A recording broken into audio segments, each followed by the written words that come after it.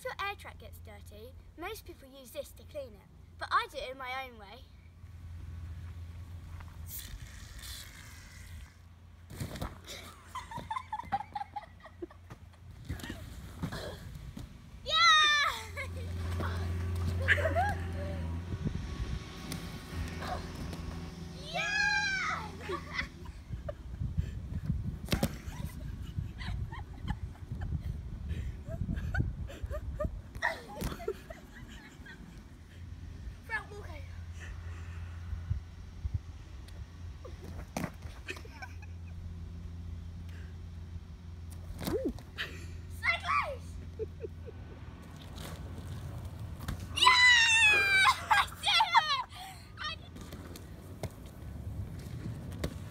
You so much, Cheer and Dance for this lovely air track.